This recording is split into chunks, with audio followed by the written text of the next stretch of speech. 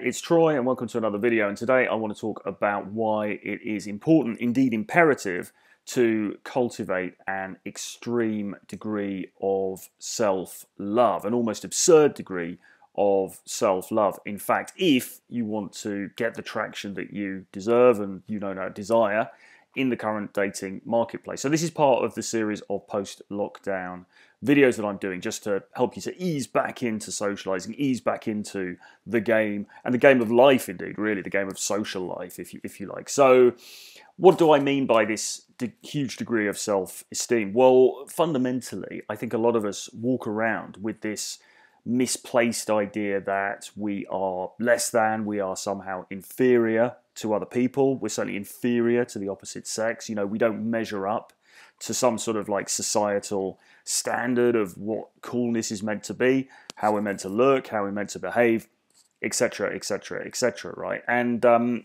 that is basically a load of nonsense, and you need to you need to eradicate that from your thinking, and you need to instead instill in yourself this this this idea that you are awesome, that you are cool. Now, what the reality of it is, objectively, is another matter, but that's almost less important than how you actually feel about it, okay? So, because here's the thing, right? If you can go around wandering around as if you are like, you know, I'm awesome, I'm God's gift, etc., etc., then people are going to buy into that to a certain extent. Not everyone's going to buy into it. You've still got to do the work. You've still got to improve yourself 100%. There's no getting around that. But at the same time, if you walk around with that huge, unstoppable confidence, that's going to take you a lot further than if you just walk around going, oh my God, I'm just so rubbish and nobody likes me and blah, blah, blah. So, you know, if you've got to err on one side or the other, err on the side of being too big for your boots, err on the side of being big headed, err on the side of being arrogant, in fact, because that is going to play better for you in a social situation than not. Okay. And I found this in my own life. You know, I found that coming from a background of being very low self esteem, not thinking well of myself, and everything else. When I started to, when I just kind of flipped it, and that happened for a number of reasons, largely because I was. Um, drinking and doing a lot of naughty substances at the time, my whole mindset kind of kind of shifted, and suddenly I was walking around with this kind of arrogant, cocky air to me, and the the way people were reacting to me it was it was incredible. It was just so different, and nothing about me intrinsically had changed. You know, I wasn't better looking, I wasn't taller, I wasn't wasn't wearing cooler clothes.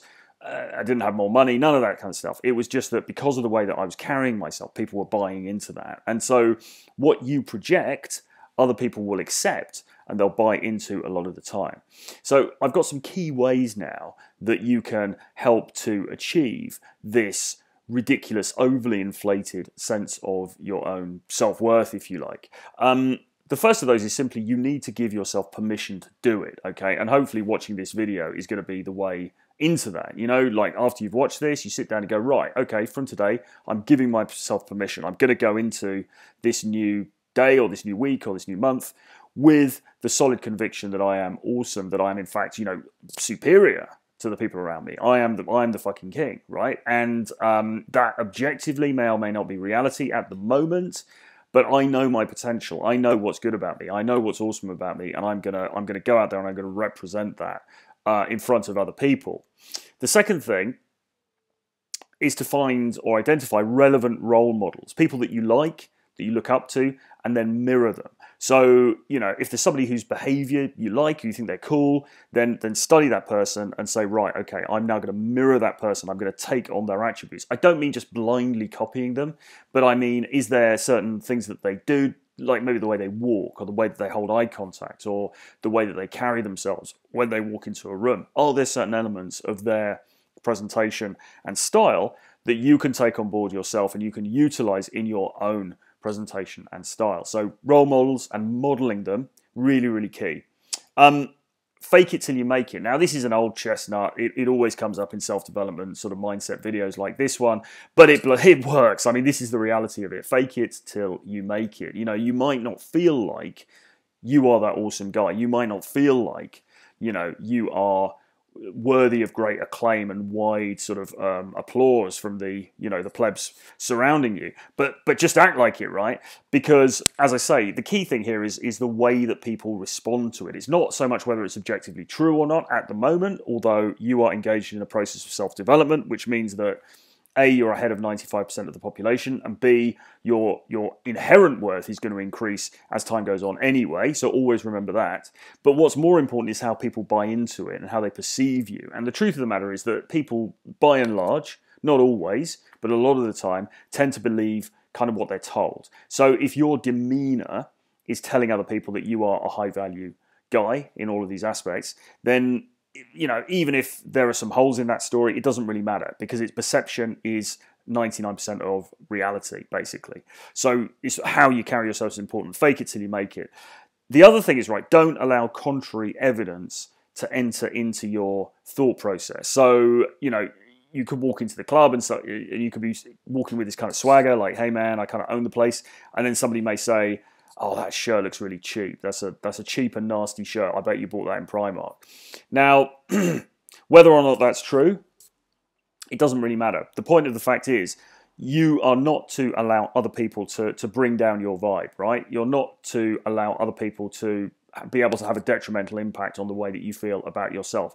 Any contra- any evidence to the contrary that you are absolutely awesome, you just reject out of hand. Okay, you just don't take it on board. It's just beyond the bounds of your reality. Okay, um, only allow in evidence that supports the fact that you are awesome. Just disregard everything else, call it nonsense, spurn it, chuck it away. It doesn't matter. That stuff is irrelevant. It's not going to help you.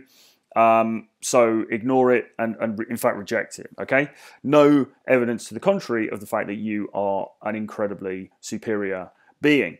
And the final thing, and this is another chestnut, is to have a mission. Now, again, we always bang on about that on this channel and in other self development um, avenues or, or, or, sort of um, channels or whatever. But you've got to have something else going on, right? Other than just trying to impress these people in this nightclub or trying to impress that girl in the cafe or trying to impress that girl in the library or whatever, wherever it is, right? You've got to have something else. You've got to have something fundamentally more important than that going on in your life because otherwise – you know, you are just a one trick pony. Otherwise, you are perhaps being a little bit pathetic. You know, you're basing your validation on on what this random human being thinks of you, which is a nonsense, okay?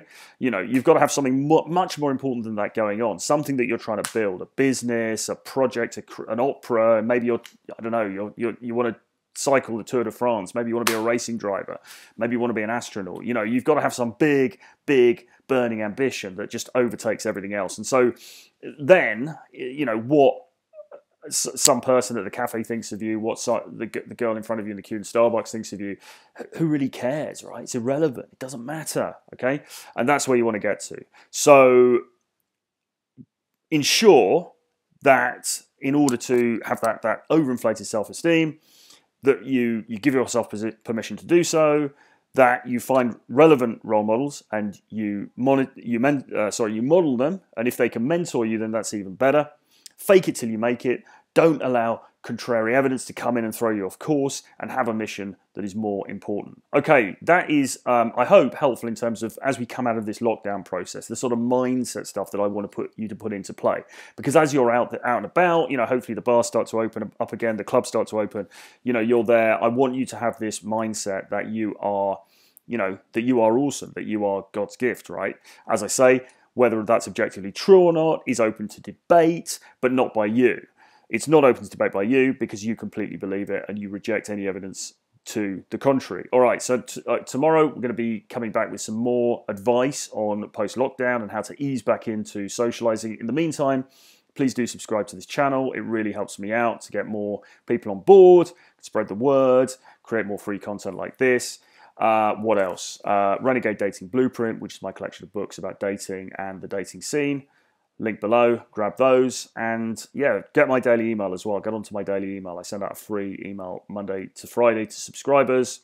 Uh, it costs nothing, so ensure that you click on the link below to get on board with that as well. I'll see you again soon. Bye bye.